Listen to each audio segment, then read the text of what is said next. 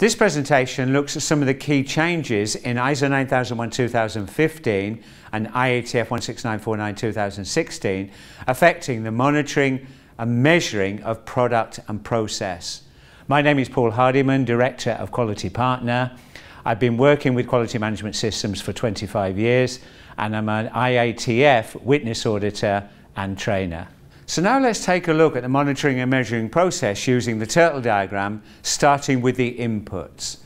So obviously one of the key inputs is the monitoring and measuring requirements that have either been defined as part of customer requirements, they may have been defined as part of regulatory requirements or statutory requirements, or requirements that have been defined by the organisation based upon the risks that have been identified within the process. We then need to take into account as an input customer specific requirements. So these may not be specific requirements about the product, but may be requirements about control of monitoring and measuring the manufacturing process. And finally, we need to take into account product safety requirements. You will see when you read IATF 16949 that there is far more emphasis on the control of any product safety related characteristics or indeed any process related safety characteristics. We need to take those into account as inputs into the monitoring and measuring process. So now let's look at some of the outputs of monitoring and measuring.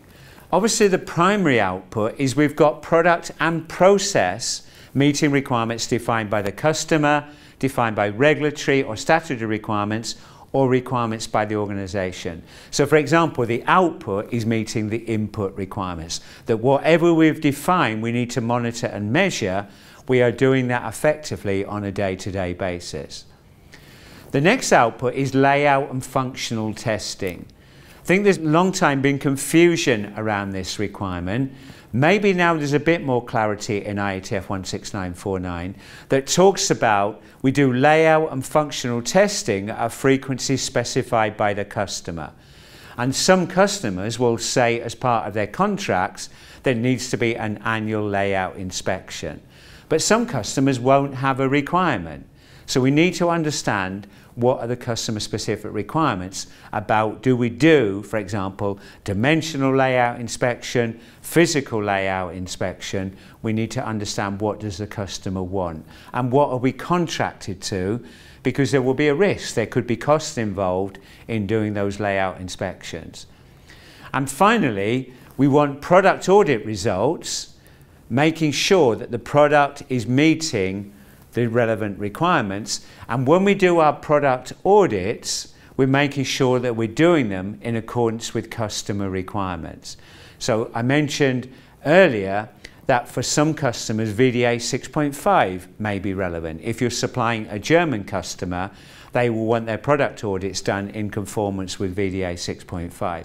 But the important thing is that we are monitoring and measuring the product by one of the means by doing product audits. So let's take a look at what results part of monitoring and measuring. So part monitoring and measuring is going to be making sure that we've met the customer relevant objectives and we've met the organisation defined objectives that should be linked back to the organisation policy and strategic direction. But we have a couple of additional requirements brought in by IATF 16949. Firstly, there is a now a documented requirement that we have daily reviews where we're using alternative process control measures. So this is where we're using measures that are not the normal process control. We're implementing some alternative. What we should be doing on a daily basis is making sure that those alternative process controls are working effectively such that we supply product to meet the customer requirements. The next thing is customer scorecards and portals. We should be, as part of monitoring and measuring, going into the customer portals and reviewing customer scorecards where they're available to make sure that we're consistently meeting the customer requirements. This was inferred before, but now is a specific requirement, and some way now matches the third-party audit process. That third-party auditors are mandated as part of audit preparation to look at these customer portals and scorecards and look at the online data. Not look at extracted data, but look at online data. And finally, monitoring and measuring will be using a combination of system audits, process audits and product audit results to tell us whether our monitoring and measuring of processes is effective. So now let's look at the how part of the turtle diagram for monitoring and measuring. One important change within IATF 16949 is that we've got a very good system for calibration and verification and assessment of any risk of any equipment that is found out of calibration. This is not a new requirement, but because of the concept of risk-based thinking, I think there's going to be even more audit emphasis on this. And maybe it's something you really do need to look at within your own organisation internal audit process. That if we have a routine calibration or verification and we find a problem, what are we going to do about it? Are we going to have to ultimately recall product? And that will then depend on our level uh, of product identification and product traceability. So risk-based thinking is a key part of monitoring and measuring process.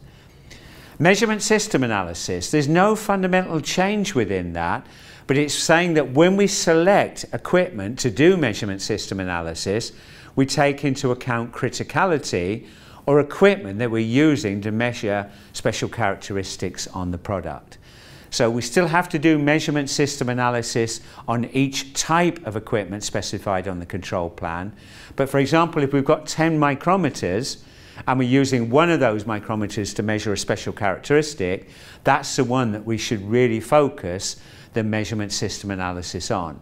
We don't ignore the others, but we focus and pay special attention to the measuring systems measuring the product critical or special characteristics. Next thing is about the control plan. It's always been a requirement to keep the control plan a live document, but now we need to review the control plan at a frequency that will depend upon risk. So for example, if we've had a high degree of customer concerns, high degree of customer issues, that should prompt us to go back and look at the FMEA and then update the control plan as necessary. So this isn't doing a periodic, for example, annual review. We're keeping it dynamic and we're changing the frequency based upon the risk within a process. Setup. When we set up a job, part of monitoring and measuring should be that we've done that setup correctly. And to know that we've done the setup correctly, we've got to have documented information that we're providing to the people doing the setup. So this isn't new, but more emphasis about having the clearly defined instructions for setup personnel and those instructions been included within the scope of the quality management system. Finally, validation of processes where we implement temporary changes. So this may be where we make a temporary change to a process. We need to make sure that we have a good validation process to make sure that those temporary change to the process are still adequate to make sure that we're going to be providing conforming product to the customer. So now let's take a look at the with what part of the turtle for monitoring and measuring. So what is relevant here? First thing is the testing of error proofing devices.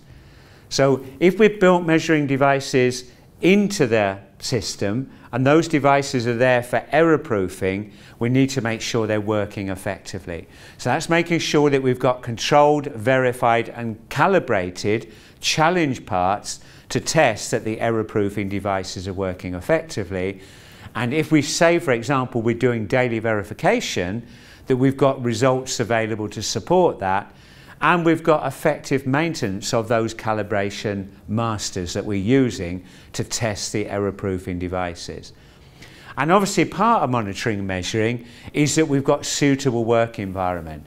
So this is making sure, for example, if we're doing visual inspection, that we've got the right lighting in the area, we've got the right temperature, we've got the right humidity, relevant to the monitoring and measuring of the product that we're trying to measure, or the monitoring and measuring of the process that we're trying to measure. So even more emphasis in IATF 16949 about the suitability of the work environment.